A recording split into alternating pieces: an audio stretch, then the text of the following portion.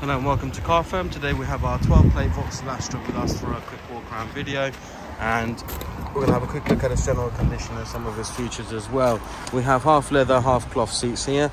As you can see the overall condition is good. The center console at that, then the dash is all in a good condition across there.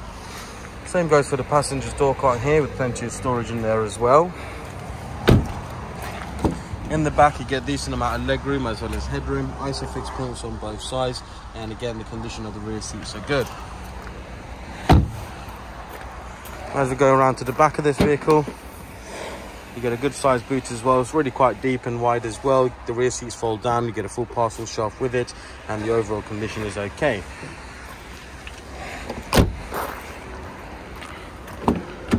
Once again into the rear seats, so you can have a good look at the condition of the seats from here as well.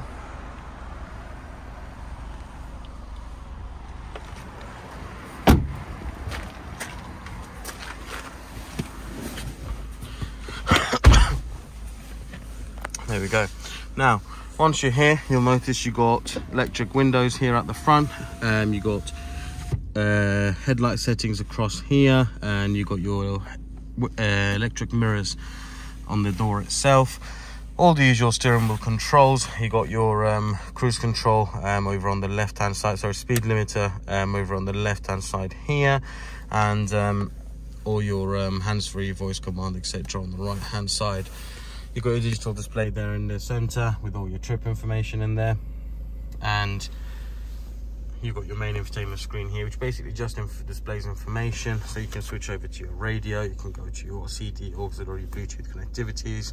You've got your climate control system just here.